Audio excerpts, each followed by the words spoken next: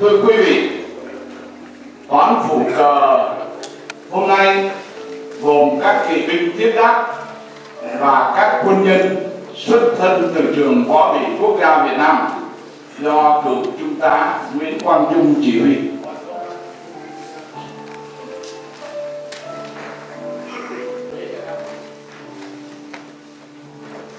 Xin mời toán thủ kỳ vào vị trí hành lễ.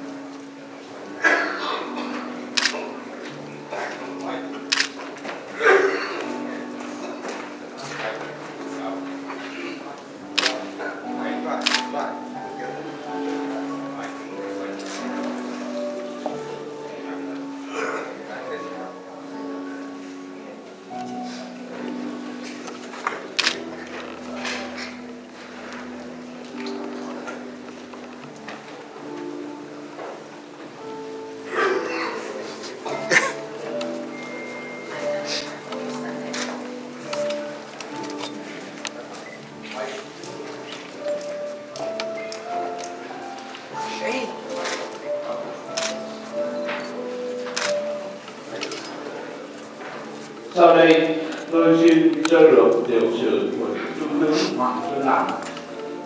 Trung tướng Hoàng Xuân Lãm sinh ngày 10 tháng 10 năm 1928 tại Quảng Trị trong một gia đình gia giáo có truyền thống hiếu học.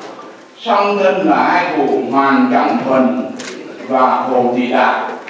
Phu nhân ông là bà Nguyễn Thị Lê Hồng. Ông bà hà Trang được năm người con gồm một trai và bốn gái. Mùa thiếu thời, ông theo học tiểu học ở Quảng Trị, lên trung học, ông được gia đình cho vào Huế học tại trường quốc học. Năm 1948, ông tốt nghiệp trung học với văn bằng tú tài Pháp bán phần. Tháng 9 năm 1950, ông nhập ngũ vào quân đội quốc gia theo học khóa 3 Trần Hưng Đạo tại trường võ vị Liên quân Đà Lạt. Ngày 25 tháng 6 năm 1951, mãn hóa tốt nghiệp với các bậc thiếu úy hiền dịch phục vụ tại chi đoàn 4 tham thính với chức vụ chi đội phó đồn trú ở cao nguyên trung thuận ngày 1 tháng 10 năm 1952 ông theo học hóa căn bản thiết giáp tại trung tâm huấn luyện thiết giáp viễn đông của quân đội pháp tại các cấp tranh chấp kính thưa quý vị quan khách kính thưa quý viên trưởng tướng lãnh cùng tất cả chiến hữu và thân hữu ngày hôm nay. Tôi, trần thanh liên, được trung tướng hội còn sách tiền, chỉ định là trưởng ban tang lễ khi nào cũng qua đời. Thì hôm nay tôi có mặt ở đây. Trước tiên tôi xin cảm ơn tất cả quý vị đã đến đây đông đủ từ tướng lãnh tới các chiến hữu các cấp. Tôi cũng xin thành kính chia buồn cùng trung tướng phu nhân và đại tăng quý. Đây là một cái sự mất mát lớn lao mà trung tướng đã ra đi cả một cuộc đời. Dài trung tướng đã thọ tới 90 tuổi, đã lăn lộn tất cả các chiến trường của đất nước Việt Nam. Không ngại gian nguy, và đã thành công bất cứ ở chỗ nào mà trung tướng đã chỉ đạo. Nhân dịp bao buồn này gia đình chúng tôi. Và đặc biệt hôm qua và tổng thống Nguyễn Văn Thiệu đệ nhất phu nhân của Việt Nam Cộng Hòa, và đại tướng Trần Thiên Kim tổng tư lệnh của quân lực, và đồng thời cũng là thủ tướng của Việt Nam Cộng Hòa. Và nhiều anh em tướng lãnh, có mặt hôm nay cũng như là tất cả quý vị lãnh đạo của tập thể chiến sĩ Việt Nam, Cộng Hòa hải ngoại trên toàn thế giới. Cũng đã nhờ tôi hôm nay kính cẩn gửi đến chị trung tướng và gia đình lời chia buồn sâu sắc nhất của quý vị đó và của chúng tôi. Thưa quý vị, chúng tôi rất hãnh diện ngày xưa khi trên quê hương có nhiều việc đi gặp trung tướng. Và bà trung tướng. Và tôi cũng rất hãnh diện đến phục vụ nhiều cái đơn vị mà trung tướng cũng có chỉ huy trước sau đó. Nhưng mà tôi cũng rất hãnh diện đã có ở mặt ở tại sư đoàn 23 bộ binh trên cao nguyên. Và nhiều đơn vị nữa cùng với trung tướng Hoàng Xuân Lãm. Đưa hương linh của trung tướng Hoàng Xuân Lãm trung tướng trên quê hương trung tướng đã là một trong gần dài vị tư lệnh rất là lỗi lạc của quân đội Việt Nam Cộng Hòa. Tại nhiều giai đoạn, trên nhiều chiến trường, và đặc biệt là trên những chiến trường tại vùng địa đầu chiến tuyến của nước Việt Nam Cộng Hòa của chúng ta ở tại Hạ Lào, ở tại Quảng Trị. Và đặc biệt nhất là ở tại nhiều chiến tuyến cùng rất nhiều các anh em chiến hữu. Mà tôi nghĩ rằng trung tướng cũng vui lòng là thấy mặt hôm nay nhiều chiến thưởng ngày xưa của trung tướng đã có mặt tại đội hội trường này. Và thưa hương linh của trung tướng Hoàng Xuân Lãm và thưa quý vị chiến hữu. Ngày xưa trong những giai đoạn rất là rối loạn và cực kỳ khó khăn của đất nước của chúng ta trong thập niên 60 trong vấn đề lãnh đạo đất nước trong thời chiến tranh, thì trung tướng Hoàng Xuân Lãm đã nêu gương cao cả trong việc lãnh đạo đất nước, đặc biệt là trong một cái giai đoạn cực kỳ của cuộc chiến tranh trong thập niên 60 và ngày đó trước đại hội của quân lực rất hùng mạnh của chúng ta. Trung tướng là giọng dạc nói lên, phát biểu quyết liệt, tình huynh đệ chinh ninh chúng chúng ta là trên hết tình huynh đệ quy binh của chúng ta là tuyệt đối và thưa quý vị, đó là kết quả rất tốt đẹp. Để mà xây dựng được cái nền tảng của nền đế trị cộng hòa của chúng ta, đó là công lao rất lớn lao của trung tướng Hoàng Xuân Lãnh không phải ở tại chiến trường, không phải như là một người tướng lãnh trong quân đội, mà trong vấn đề lãnh đạo của đất nước, lãnh đạo của quốc gia. Tôi nghĩ đâu câu đó là không phải cái cái ngày xưa, mà bây giờ tôi nghĩ ở hải ngoại câu đó là chúng ta cũng phải nên lấy làm nòng của chúng ta để mà có danh dự quân đội và trách nhiệm. Câu đó là để biểu tượng những cái gì mà con người trên quê hương, trên dân tộc, trên đất nước chúng ta phải làm. Chúng ta đã 40 năm trước, chúng ta đã làm 50 năm trước chúng ta làm, và tôi nghĩ bây giờ chúng ta cũng phải còn làm tôi nghĩ rằng tất cả quý vị ở đây hôm nay tất cả là những chiến hữu của các quân binh chủng. Tôi chắc chắn rằng quý vị cũng hãnh diện với con người anh cả của chúng ta. Là Hoàng Xuân Lãm anh nói những cái lời lịch sử đó và tôi tin tưởng rằng 42 năm trước rồi, quý vị cũng đã hãnh diện quyết liệt làm những cái chuyện gì mà chúng ta phải làm. Và tôi nghĩ rằng có như vậy thì ngọn cờ vàng ba chọc đỏ này bây giờ ở tại khắp nơi trên thế giới nó còn ngạo nghễ, tung bay. Nhưng nếu mà cái vấn đề chúng ta không có những cái câu mà như trung tướng và sư phạm nói, thì tôi chắc rằng ngọn cờ này không có nghiêng ngả, không có ngạo nghễ mà bay ở trên đất nước, ở mọi nơi. Và bây giờ quý vị thấy không? Nhờ cái sự mà quyết liệt của tất cả của chiến hữu mà ngọn cờ vàng có đỏ này cũng đã bắt đầu tung bay ở ở trên quê hương của chúng ta ở miền Bắc, miền Trung và miền Nam. Và tôi nghĩ rằng có lẽ cũng chừng một cái ngày nào gần đây thì là mấy cái chuyện đó nó sẽ còn mạnh mẽ hơn nữa. Thưa trung tướng hôm nay tôi xin đại diện cho tất cả quý vị mà tôi đã đưa lên. Trung tướng và tất cả trong gia đình tôi xin đại diện những cái người mà chiến hữu, tướng lãnh chiến hữu của trung tướng ngày xưa. Tôi xin đại diện cho những cái người mà thân tình của chiến hữu. Để hôm nay, một lần nữa, kính thẳng nghiêng mình trước anh linh của trung tướng lần cuối. Và chúng tôi xin thành kính nguyện cầu anh linh anh lên cái trung tướng sống tiêu diêu nên miệng cực lạc. Xin kính chào kính biệt trung tướng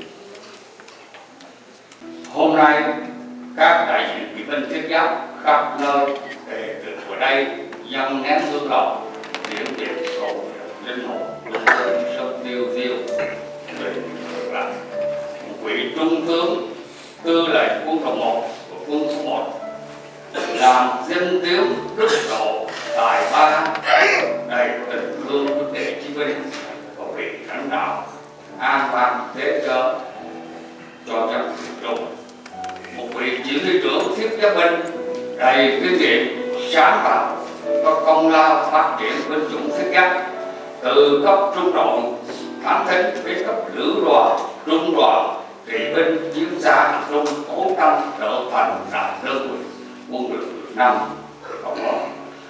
một vị chỉ huy thao lược đầy lòng bác ái, dùng lời nói yêu thương, khích động tinh thần chiến đấu dũng cảm, hàng ngàn binh sĩ phá vòng vây của địch quân trong biển lửa của cuộc hành cùng Long Sơn phải trong một chiến hạ lạc khi triệt thoái, phá rừng, vượt sông Simon giữa đêm khuya trở về Nam An toàn đó là lời nói chân tình của trung tướng do chính tôi là người đã nhận qua vô tuyến, thầy triều mấy truyền lại cái vị tư lệnh đặc nhiệm và các đơn vị trưởng ngoại quân chủng. Bừng dậy thảo hạt xông lên kháng cái đầu nhập, mở đường máu.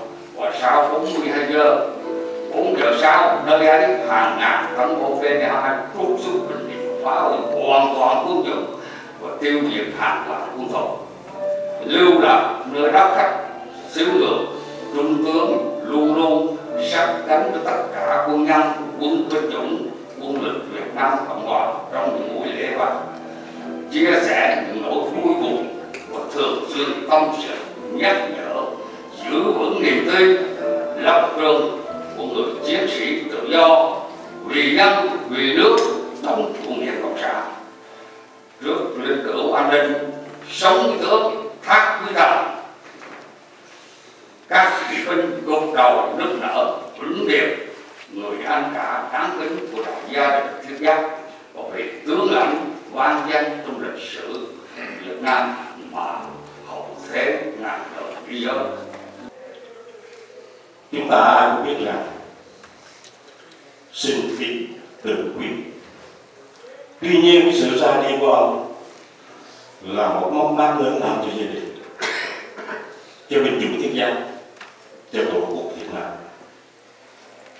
hôm nay ông nằm đây yên nghỉ sau một đời bốn ba ngang dọc chúng tôi đến đây trước hết xin thay mặt cho toàn thể kỵ binh Nam California.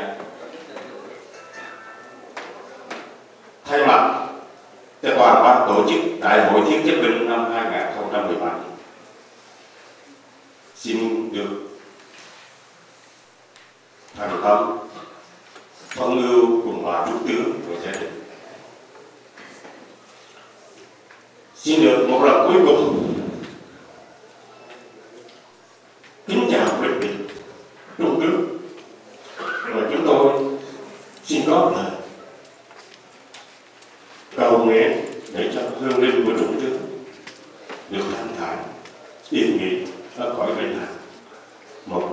Viên và Hằng Cường. Xin trân trọng. Hôm nay chúng tôi đến đây trước tiên nghiêng mình trước linh cữu người quá cố chào tiếng việt người bạn đồng khóa đều nằm xuống. Chúng tôi thành tâm chia sẻ, niềm đau buồn thương tiếc của chúng tôi với bà phá hộ, trung tướng hoàng xuân lâm cùng giải quyết là sau cùng chúng tôi không quên nguyện cầu cho dòng linh. Trung tướng hoàng xuân Lãm. Tiêu diêu, biển cực lạc. Chúng tôi xin chấm dứt. Xin diễn biệt trung tướng và Xuân Lãm. Kính thưa quý vị, tôi là bà quả phụ của cố trung tướng hoàng xuân lạc tôi xin cảm tạ quý vị đại diện của các tôn giáo, các bậc trưởng bối, các tướng lãnh và phu nhân, các hội đoàn, các anh em truyền thông truyền hình và tất cả các binh chủng trong quân lực Việt Nam Cộng Hòa cùng bà con, họ hàng và bạn bè xa gần đến tham dự tang lễ và chia buồn cùng gia đình chúng tôi ngày hôm nay. Chúng tôi rất cảm kích khi thấy quý vị không ngại đường xa, bỏ thì giờ quý bảo đến đây để tiễn đưa lần cuối linh tụ của chồng tôi trong số quý vị hiện diện hôm nay rất nhiều anh em quân nhân một lần cùng chồng tôi xông pha chiến trận khi còn ở Việt Nam. Tôi nghĩ rằng thần thức của ông cũng đang hiện diện nơi đây. Và ông đang mỉm cười. Cảm kích được tấm lòng huynh đề ưu ái mà quý vị anh em quân nhân đã dành cho ông chúng tôi rất trân quý sự hiện diện của tất cả quý vị, vì đã đem lại niềm an ủi rất lớn cho gia đình chúng tôi. Và xin nhận tấm lòng thành kính tri ân này, xin chân thành cảm tạ tất cả.